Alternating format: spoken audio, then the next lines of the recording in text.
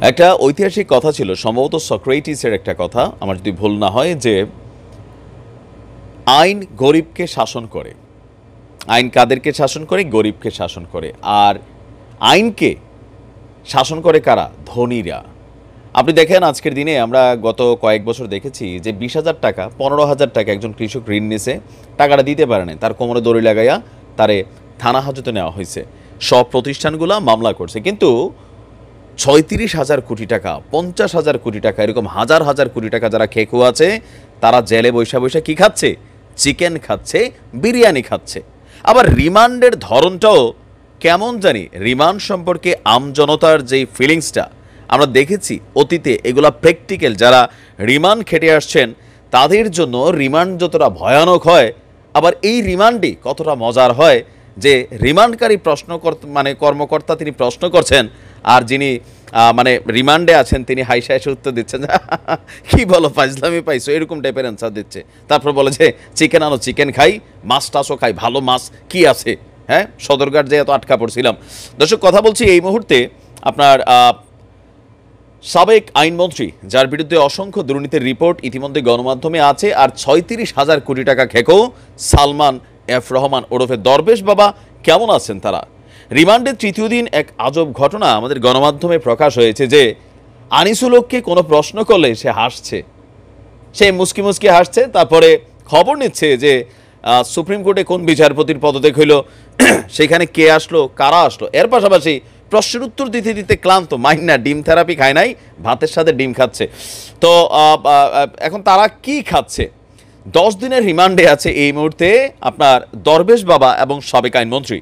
প্রথম শ্রেণির গণমাধ্যমগুলো বলছে, রাজধানীর মিন্টু রোডে ঢাকা মহানগর গোয়েন্দা পুলিশ কার্যালয়ে আছে তারা। আর আজকে তৃতীয় দিন গেছে, ডিবি কার্যালয় সূত্র বলছে, ডিবি অফিসে যে খাবারগুলো রয়েছে সেগুলোই খাচ্ছেন দরবেশ এবং আনিসুল। বিজনেস টাইকন, আপনার দরবেশের পছন্দ হচ্ছে চিকেন জাতীয় খাবার। ষোলোই আগস্ট মুরগি এবং ডিম দিয়ে খেয়েছেন থেরাপি না ভাত খাইছেন, ডিম দিয়া, মুরগি দিয়া। আর সাবেক আইনমন্ত্রী আনিসুলকের পছন্দ হচ্ছে মাছ। তিনি ডিম এবং শিং মাছের ঝোল দিয়ে তারা খাবার খেয়েছেন। এছাড়া ডিবির হাজতখানার ফ্লোরে ঘুমাচ্ছেন তারা। ফ্লোরের মধ্যে কি সরাসরি নাকি সোফা টোফা আছে দামি মোটা মোটা বেড আছে, সেটাও কথা। কীভাবে তাদের সময় কাটছে জানতে চাইলে পুলিশের এক কর্মকর্তা বলছেন, বসে থাকেন, ঘুমান, খান এবং নামাজ পড়ে সময় কাটান তারা। মানে রিমান্ডে কি আরামের জীবন? আর আমাদের জন্য যেখানে আমরা দেখছি বিপিনুরে কেমনে চ্যাং দোলা দিয়ে লটকাইয়া পিটাইছে?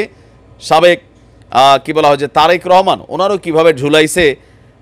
মানে সাধারণ মানুষও রিমান্ডে গেলে টাকার বিনিময়ে তাদেরকে পিটানো হয়। এটা বাংলাদেশের চরিত্র।